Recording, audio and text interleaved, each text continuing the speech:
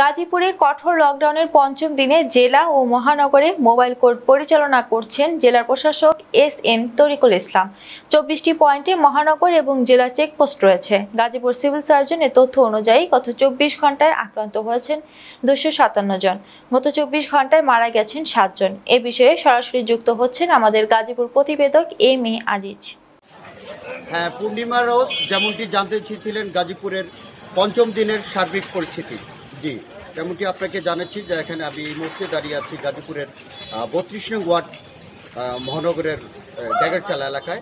যেমনটি জানতে চেয়েছিলেন যে গতকাল কিন্তু আপনি জানেন যে, আপনাকে জানিয়ে রাখি যে গতকাল কিন্তু আটটার পরে ড্যাগারচালার ফাহিম সোয়েটার এবং ছয়জানা হাজিরপুকুর এলাকায় কিন্তু প্রীতি গ্রুপ খুলেছিল। তারা প্রায় ওখানে পেয়েছে প্রায় ম্যাজিস্ট্রেট এক হাজার লোক প্রায় পেয়েছে, কিন্তু তাদেরকে জরিমানা করেছে এক লক্ষ টাকা।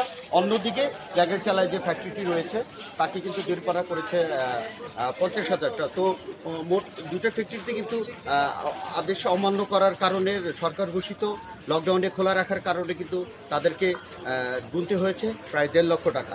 আর আরেকটা জিনিস, বিষয় জানিয়ে রাখি প্রতিদিনের মতো কিন্তু আজও জেলা ও মেট্রো জেলায় রয়েছে সাতাশটি পয়েন্টে চেকপোস্ট ও আহ, গাজীপুর জেলা প্রশাসক তরিকুল ইসলামের কাছে জানতে চেয়েছিলাম যেমনটি উনি জানিয়েছেন।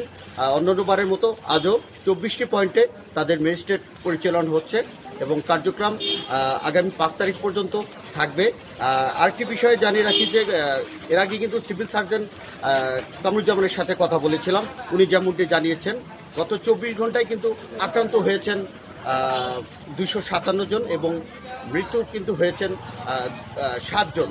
তো পূর্ণিমা রোজ, এই ছিল আমার কাছে গাজীপুরের সর্বশেষ খবর।